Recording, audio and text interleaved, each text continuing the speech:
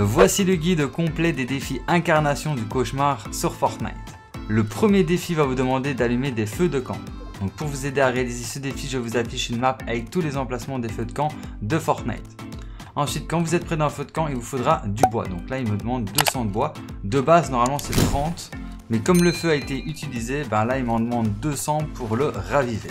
Dès que vous avez assez de bois, vous allez tout simplement allumer le feu de camp et quand vous aurez allumé deux feux de camp, là vous aurez terminé le défi. Le prochain défi va vous demander d'obtenir des armes des adversaires éliminés.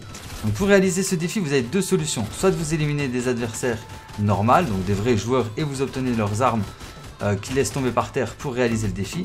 Ou soit vous éliminez des bots, parce que normalement ça devrait fonctionner aussi contre les bots, et vous récupérez leurs armes. Dès que vous aurez récupéré 5 armes des adversaires éliminés, bah là vous aurez terminé le défi.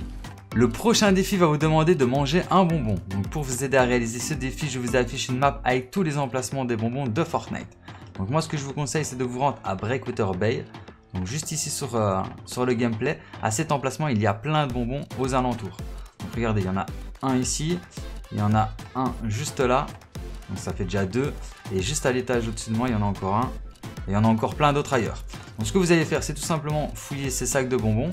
Ensuite, vous les ramassez et vous allez tout simplement en manger un. Et dès que vous en aurez mangé un, là vous aurez terminé le défi.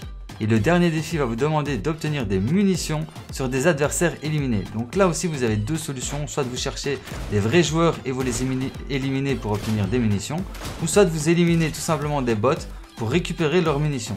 Dès que vous aurez obtenu 100 munitions sur des adversaires éliminés, là vous aurez terminé le défi et vous débloquerez les récompenses. Code créateur SCL.